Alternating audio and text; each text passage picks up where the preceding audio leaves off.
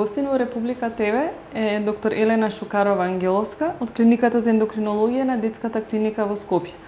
Разговараме за Дауновиот синдром на 21 март се одбележува светскиот ден на лицата родени со Даунов синдром. Во Македонија нема регистар на лица родени со Даунов синдром, а според статистиките на Светската здравствена организација неофицијално на 800 до 1000 живородени новороденчиња се раѓа по едно дете со Даунов синдром. Колку оваа бројка реално ги отсликува состојбите во Македонија? Да, точно е тоа дека официјален регистар не постои, но сепак на самата клиника, заедно со се клиниката од гинекологија, каде што исто така се прават првични кариотипови на овие деца, фактички Заводот за социјална медицина прави некако вид на бројчан регистар, не по име, него бројчан регистар на овие деца.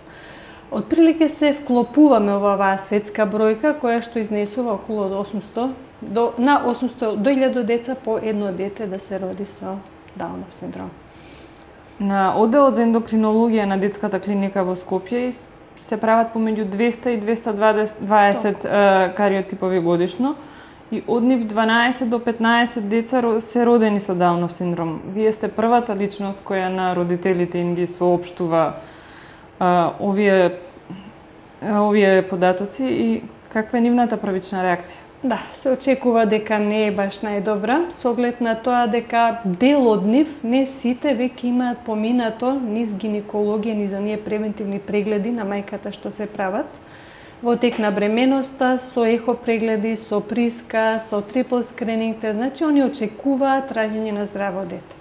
Но сепак, она кое што се прави во текот на бременоста е скрининг, а не е дефинитивна диагноза, од која ќе се роди детето, ќе се забележат одредени мали знаци, значи децата, посебно ако немаат кардиопатија, Тоа не се гледа на ехо и на вистина првата информација, првичната информација дека детето им има Даунов синдром е шок за нив.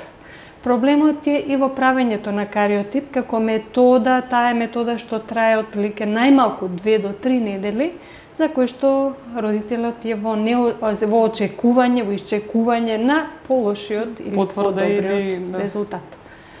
Така да самата информација, од кога веќе ќе го имаме црно на бело а, извештај, самата информација прилично болно ја прифаќаат. И тоа можам да кажам дека има различни типови на родители, како што има и различни типови на луѓе.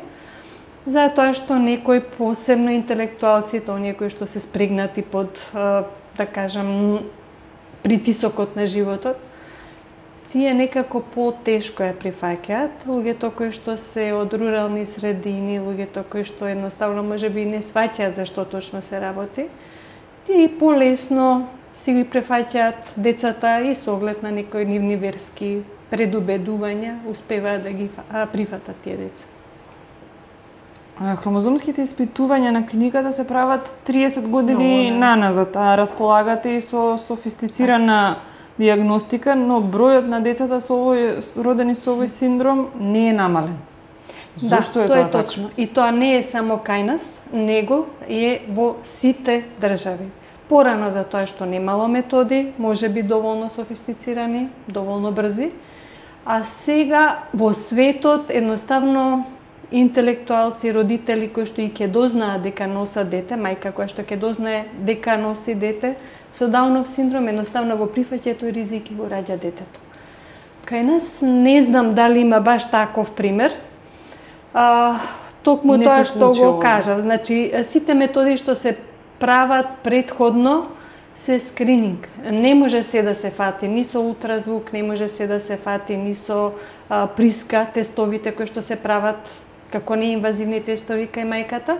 Единствен тест кој што тоа може да го потврди е амниоцентезата, која што па заради својот ризик не може да се прави на сите бремени жени, него се прави кај некој што на ехото ќе се види нешто.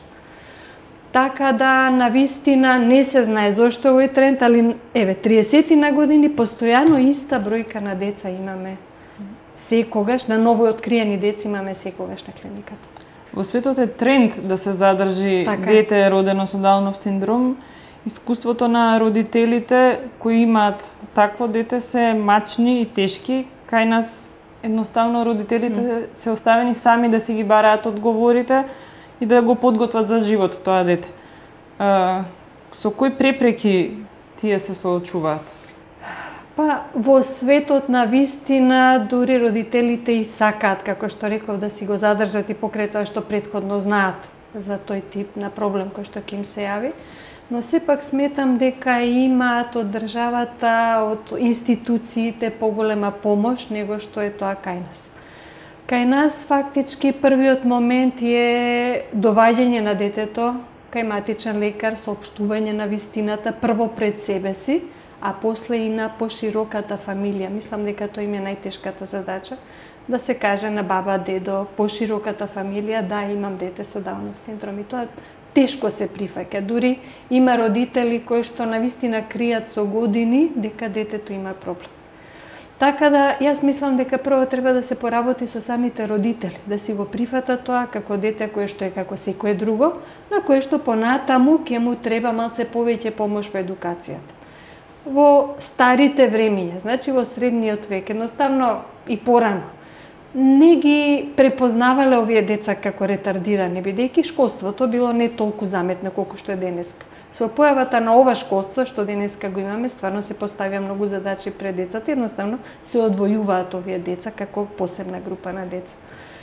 А, мислам дека во последните десетина години некако мрднавме на напрети во тој план, бидејќи се поставуваат се повеќе центри на деца со посебни потреби, се а, во школите и во градинките се вработуваат дефектолози кои што стварно ги има доста и добро се едуцирани за да им помогнат што порано да ги совладаат овие вештини на зборување и на одење и така натаму, така да мислам дека се добро прифатени од тие центри.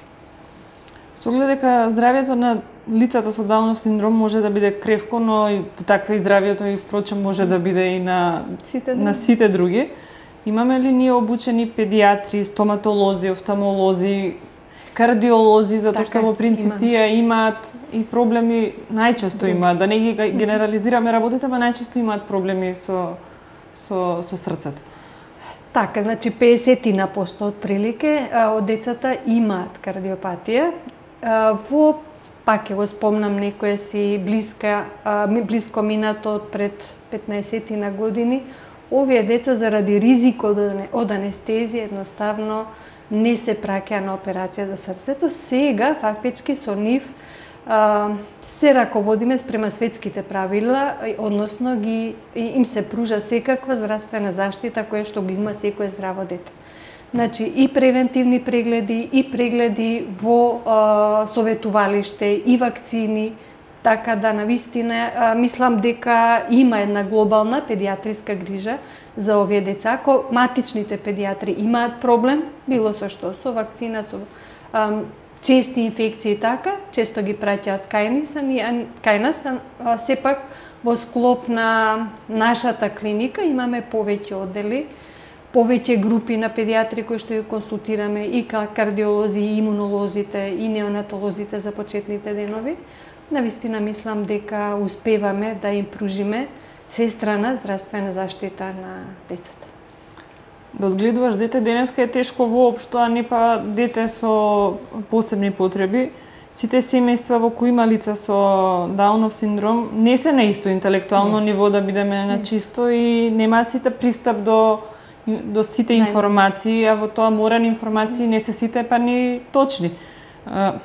Какви решенија кај нас може да, да понуди системот? Па, тоа беше оној мој предходен коментар дека на вистина понекогаш треба да работиме со родителите.